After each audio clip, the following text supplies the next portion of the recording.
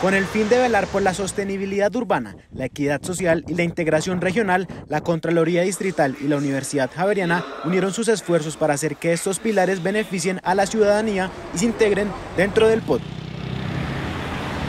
Mediante este documento, las dos entidades recopilan algunas recomendaciones para el Plan de Ordenamiento Territorial al Consejo de Bogotá.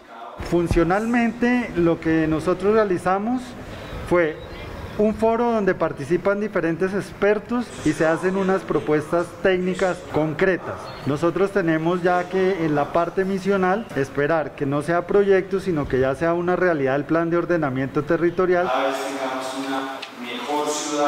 El informe tuvo la participación de ocho expertos en temas urbanos, con el fin de enriquecer el debate sobre el desarrollo de la capital en los próximos 12 años.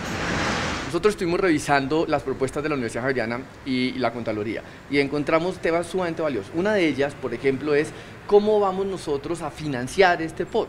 Estamos hablando de 144 billones de pesos, pero gracias al aporte y el foro y los eventos que han organizado, nosotros logramos exigir una programación de programas, proyectos, actividades costo a costo de cómo va a ser el financiamiento de ese programa. Ese tipo de cosas hace que la academia y el sector en general que fiscaliza, como la Contraloría, esté mucho más al frente y tengamos la garantía de que eso se pueda ejecutar.